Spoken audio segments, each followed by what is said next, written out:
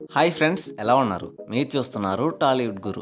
Friends మన ఛానల్లో వీడియోస్ని అలా చూసేలా వెళ్ళిపోకుండా కొంచెం లైక్ సబ్స్క్రైబ్ అయితే చేయండి.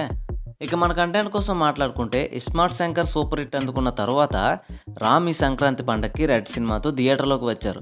ఇందులో రామ్ సరసన నివేద పేతిరాజ్ మాలవిక శర్మ అమృత అయ్యర్ హీరోయిన్లుగా నటించారు. తిరుమల కిషోర్ దర్శకత్వం వహించిన ఈ చిత్రాన్ని శ్రీ శ్రావంతి మూవీస్ పతాకంపై శ్రావంతి రవికిషోర్ నిర్మించారు. కాగా ఈ సినిమా విడుదలైంది. మరి సినిమా ఎలా ఉందో ఈ రివ్యూలో చూద్దాం. ఇక ఈ సినిమా కథ విషయం గురించి మాట్లాడుకుంటే ఈ రెడ్ కథలో రామ్ ఆదిత్య అండ్ సిద్ధార్థ్గా రెండు పాత్రలో కనిపిస్తాడు.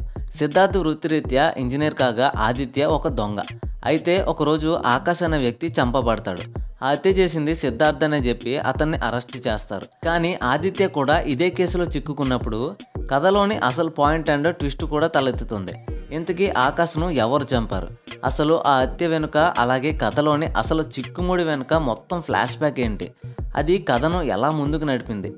చివరకు ఆదిత్య అండ్ సిద్ధార్థ్ ఆ హత్య కేసు నుండి ఎలా బయటపడతారు అనేదే మిగిలిన కథ. ఇక ఈ సినిమా ప్లస్ పాయింట్స్ గురించి మాట్లాడుకుంటే సినిమాకు ప్రధానంగా ఆదిత్య సిద్ధార్థ్ రెండు పాత్రలో మెయిన్ ఫిల్లర్స్గా నిలిచాయి.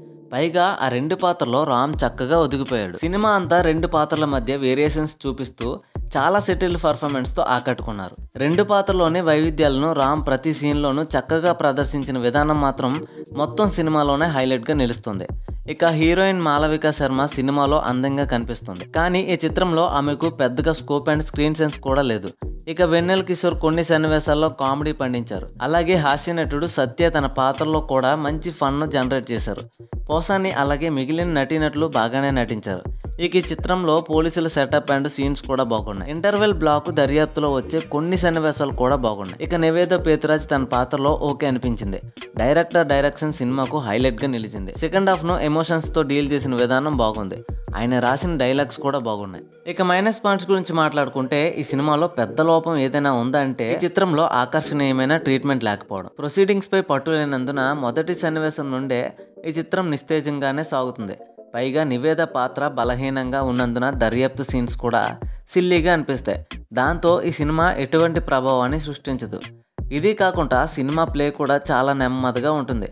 అసలు మెయిన్ కథ విరామం సమయంలో మాత్రమే ప్రారంభమవుతుంది.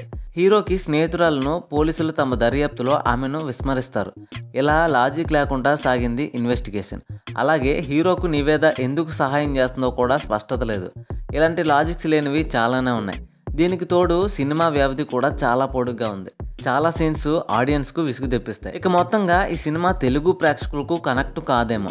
కాకపోతే రామ్ ఫ్యాన్స్కు సినిమాలోని రామ్ నటన మరియు కొన్ని అంశాలు నచ్చుతాయి. సో ఇది ఫ్రెండ్స్ ఈ వీడియో కనుక మీకు నచ్చినట్టయితే లైక్ చేయండి షేర్ చేయండి. మరిన్ని మన లేటెస్ట్ అప్డేట్స్ కోసం సబ్స్క్రైబ్ అయితే చేసుకోండి. Thanks for watching. జై హింద్.